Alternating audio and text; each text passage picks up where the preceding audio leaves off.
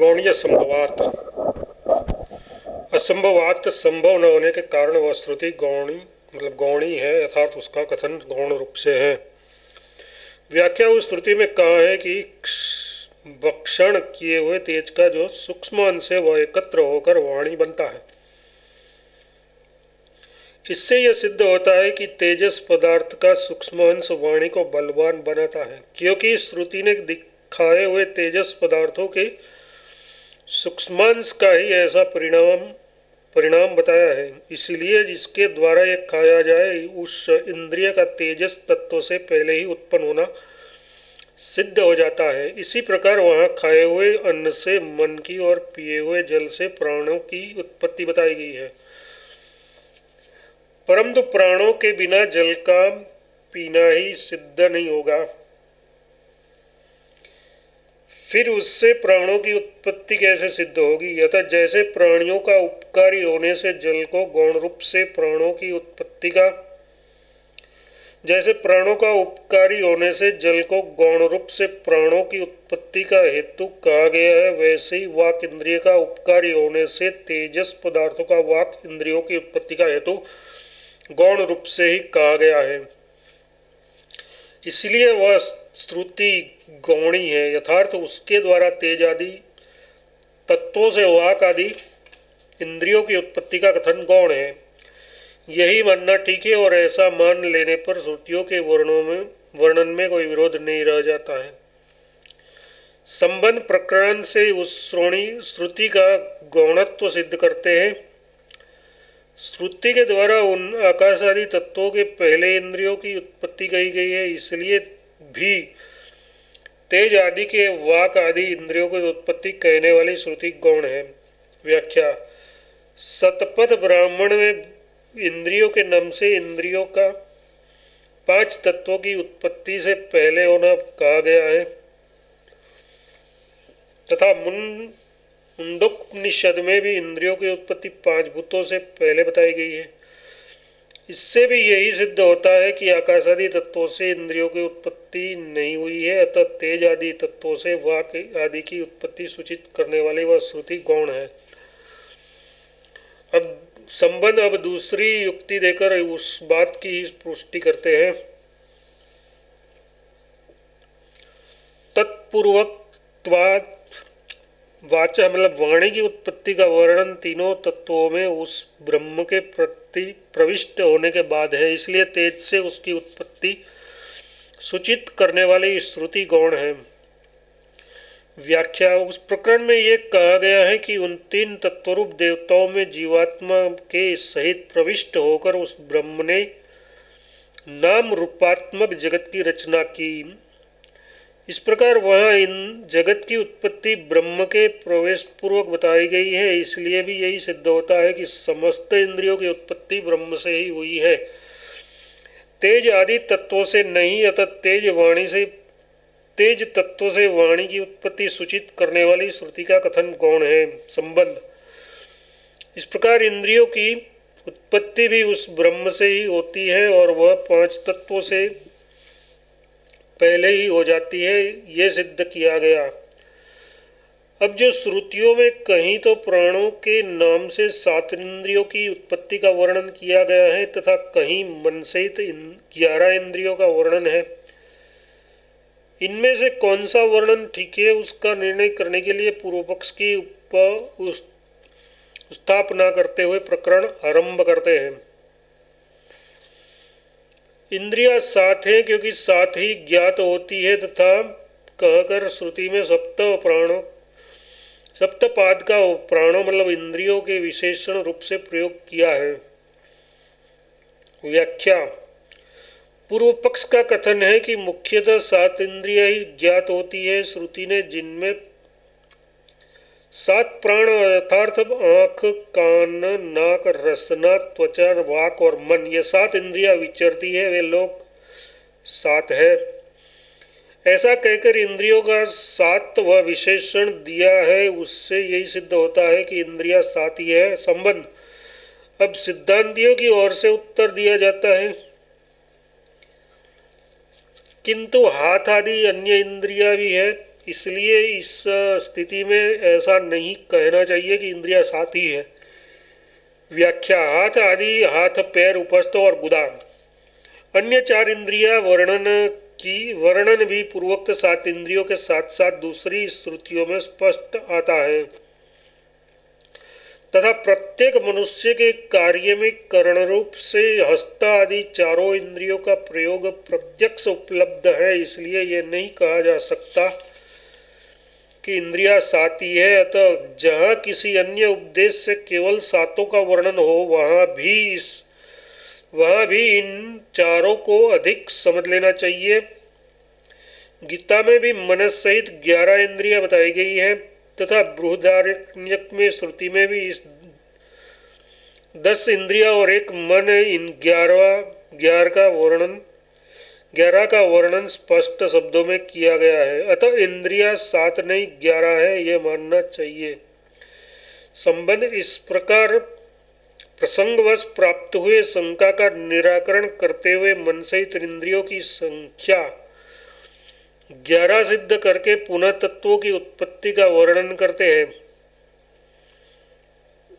अणवच्चस्य मतलब तथा सूक्ष्मभूत यानी तन्मात्रा भी उन परमेश्वर से ही उत्पन्न होती है। व्याख्या जिस प्रकार इंद्रियों की उत्पत्ति परमेश्वर से होती है, उसी प्रकार पाँच भूतों। पाँच महाभूतों का जो सूक्ष्म रूप है, जिसको दूसरे दर्शनकारों ने परमाणु के नाम से कहा है तथा उपनिषदों में मात्रा के नाम से जिसका वर्णन है, वे भी परमेश्वर से ही उत्पन्न होते हैं, क्योंकि वहाँ उसकी उसकी स्थिति उस परमेश्वर के आश्रित ही बताई गई है। कुछ महानुभावों का कहना है कि यह सूत्र इंद्रियों का अण अणु परिमाण सिद्ध करने के लिए कहा गया है, किंतु प्रसंग से यह ठीक मालूम नहीं होता। वक्त, त्वक इंद्रियों को अणु नहीं कहा जा सकता, क्योंकि वह शरीर के किसी एक देश में सूक्ष्म रूप से स्थित न होकर समस्त शरीर को आच्छादित किए हुए रहती है। इस बात का सबको प्रत्यक्ष अनुभव है, अतः विद्वान पुरुषों को ये पर, इस पर विचार करना चाहिए। इंद्रियों को अणु बताने वाले व्याख्याकारों ने इस विषय में श्रुतियों तथा स्मृतियों का कोई प्रमाण भी उद्भृत नहीं किया है। श्रेष्ठ मतलब मुख्य प्राण भी उस परमात्मा से उत्पन्न होता है। व्याख्या जिसे प्राण नाम से कही जाने वाली इंद्रियों की अपेक्षा श्रेष्ठ सिद्ध किया गया है, जिसका प्राण अपान समान, व्यान और उदान, इन पाँच नामों से वर्णन किया जाता है। वह मुख्य प्राण भी इंद्रिय आदि की भांति उस परमेश्वर से ही उत्पन्न होता है। श्रुति भी उसका समर्थन करती है। संबंध अब प्राण के स्वरूप का निराधार करने के लिए अगला प्रकरण आरंभ करते हैं। श्रुति में वर्णित मुख्य प्राण प्राण, वायु तत्व और उसकी क्रिया नहीं है, क्योंकि उन दोनों से अलग इसका वर्णन है। व्याख्या, श्रुति में जहाँ प्राण की उत्पत्ति का वर्णन आया है, वह वायु की उत्पत्ति का वर्णन अगल, अलग है। इसलिए श्रुति में वर्णित मुख्य प्राण न तो वायु तत्व है और न वायु की क्रिया का ही नाम मुख्य प्राण है। वह इन दोनों से भिन्न पदार्थ है, यही सिद्ध होता है। संबंध यहाँ यह जिज्ञासा होती है कि प्राण आदि वायु तत्व नहीं है तो क्या जीवात्मा की भांति स्वतंत्र पदार्थ है, इस पर कहते हैं। किंतु प्राण भी चक्षु आदि इंद्रियों की भांति जीवात्मा का उपकरण है, क्योंकि उन्हीं के साथ प्राणों और इंद्रियों के संवाद में उस, इसका वर्णन किया गया है, तथा उसकी भांति ये जड़ भी है व्याख्या। छंदोपनिषद में मुख्य प्राण की श्रेष्ठता सूचित करने वाली एक कथा आती है, जो इस प्रकार है।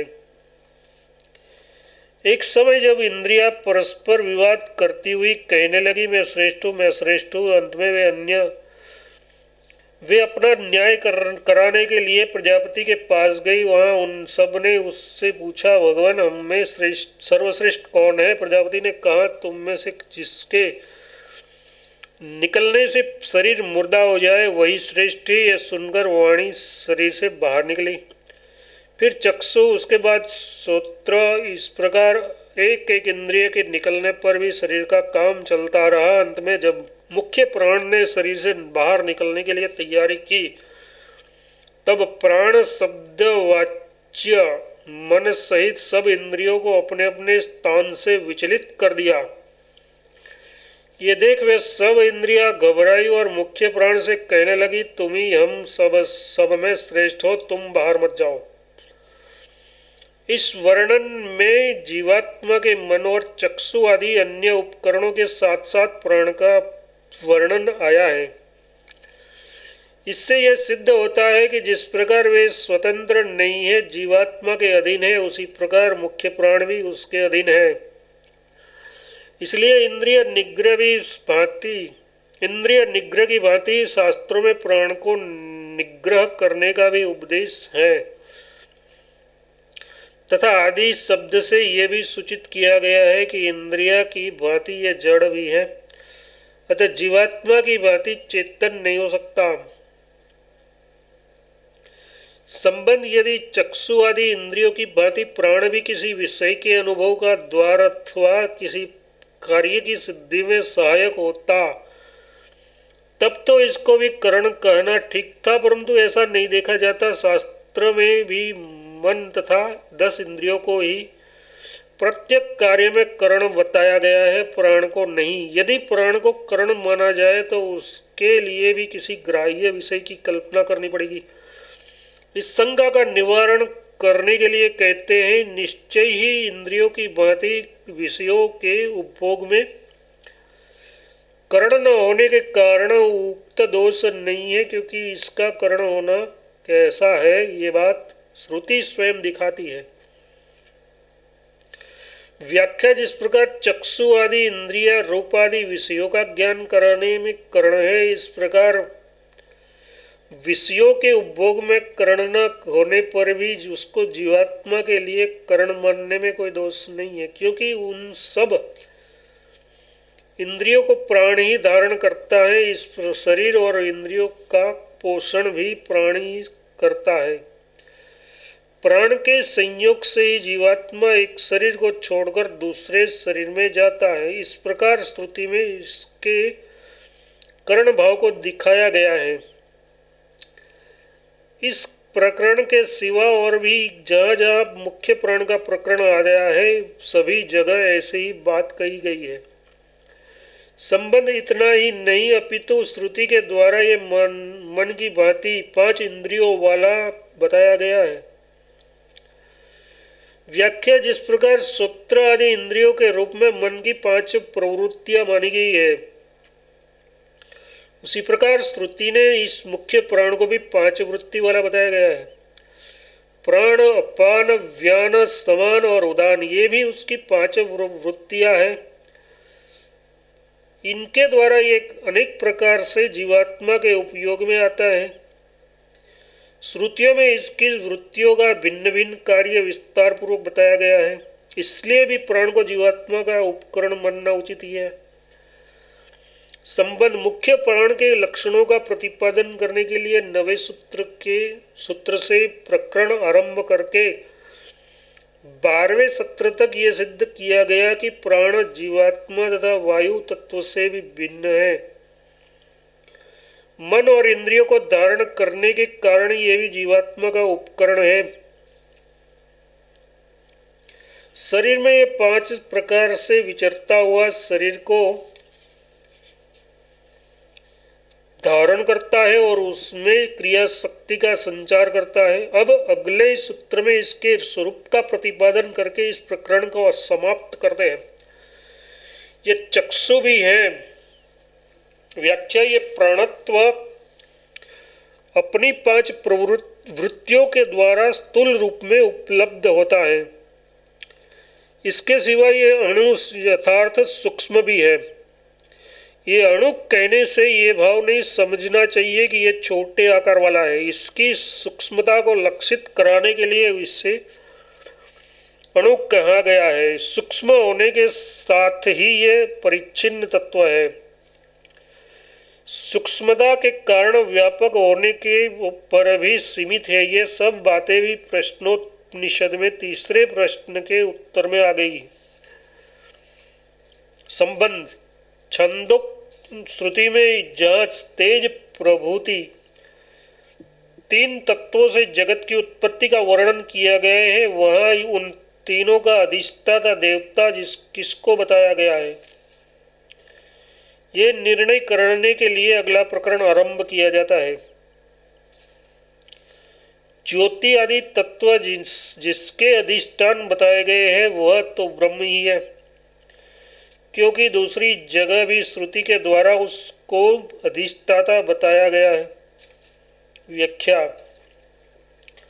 श्रुति में कहा गया है कि उस जगत कर्ता परमदेव ने विचार किया कि मैं बहुत हो तब उसने तेज की रचना की, फिर तेज ने विचार किया इत्यादि। इन, इस वर्णन में जो तेज आदि तत्वों में विचार करने वाला उसका अधिष्ठाता बताया गया है, वह परमात्मा ही है। क्योंकि तेतरीय उपनिषद में कहा है कि इस जगत की रचना करके उसने उसमें जीवात्मा के साथ साथ प्रवेश किया। इसीलिए यह सिद्ध होता है कि परमेश्वर ने ही उन तत्वों में अधिष्ठाता रूप से प्रविष्ट होकर विचार किया, स्वतंत्र जड़ तत्वों ने नहीं। संबंध अब यहाँ ये जिज्ञासा होती है कि यदि परब्रह्म परमेश्वर हो ही उन आकाशादि तत्वों का अधिष्ठाता है, तब तो प्रत्येक शरीर का अधिष्ठाता भी वही होगा। जीवात्मा को शरीर का अधिष्ठाता मानना भी उचित नहीं होगा। इस पर कहते हैं, प्राणधारी जीवात्मा के सहित प्रवेश किया। ऐसा श्रुति का कथन होने से यह दोष नहीं है। व्याख्या, श्रुति में यह भी वर्णन आया है कि इन तीनों तत्वों को उत्पन्न करने के बाद उस परम देव ने विचार किया मैं इस जीवात्मा के सहित इन तीनों देवताओं में प्रविष्ट होकर नाना रूप, नाना रूपों की रूपों को प्रकट करूँ। इस कथन से यह सिद्ध होता है कि जीवात्मा के सहित परमात्मा ने उन तत्वों में प्रविष्ट होकर जगत का विस्तार किया। इसी प्रकार ऐत्रोपनिषद में पहले अध्याय में जगत की उत्पत्ति का वर्णन करते हुए तीसरे खंड में यह बताया गया है कि जीवात्मा को सहयोग देने के लिए जगत कर्ता परमेश्वर ने सजीव शरीर में प्रवेश किया। तथा मुंडक और श्वेतास्वर में ईश्वर और जीव को दो पक्षियों की भांति एक ही शरीर वृक्ष पर स्थित बताया गया है। इसी प्रकार कठोपनिषद में भी परमात्मा और जीवात्मा को हृदय रूप गुहा में स्थित कहा गया है, इन सब वर्णनों से जीवात्मा और परमेश्वर इन दोनों का प्रत्येक शरीर में साथ साथ रहना सिद्ध होता है। इसलिए जीवात्मा को शरीर का अधिष्ठाता मानने से किसी प्रकार का विरोध नहीं है। संबंध श्रुति में जीव, तत्वों की उत्पत्ति से पहले या पिछले भी जीवात्मा की उत्पत्ति का वर्णन नहीं आया। फिर उस परमेश्वर ने सहसा ये विचार कैसे कर लिया कि इस जीवात्मा के सहित मैं इन तत्वों में प्रवेश करूँ? ऐसी जिज्ञासा होने पर कहते हैं, उस जीवात्मा की नित्यता प्रसिद्ध होने के कारण भी उसकी उत्पत्ति का वर्णन करना उचित ही है। व्याख्या, जीवात्मा को नित्य माना गया है, सृष्टि सृष्टि में सृष्टि के का समय, शरीर की उत्पत्ति के साथ साथ गौण रूप से ही उसकी उत्पत्ति बताई गई है। वास्तव में उसकी उत्पत्ति नहीं मानी गई है, इसलिए पाँच भूतों की उत्पत्ति के पहले या बाद उसकी उत्पत्ति न बतलाकर जो जीवात्मा के सहित परमेश्वर का शरीर में प्रवेश होना कहा गया है, वह उचित ही है। उसमें किसी प्रकार का विरोध नहीं है। संबंध श्रुति में प्राण के नाम से इंद्रियों का वर्णन आया है। इससे यह जान पड़ता है कि इंद्रिया मुख्य प्राण के ही कार्य है, उसी की वृत्तियाँ है, भिन्न तत्व नहीं है। अथवा ये अनुमान होता है कि चक्षु आदि भी, आदि की भांति मुख्य प्राण भी एक इंद्रिय है। उन्हीं की जाति का पदार्थ है। ऐसी दशा में वास्तविक बात क्या है? इसका निर्णय करने के लिए अगला प्रकरण आरंभ किया जाता है।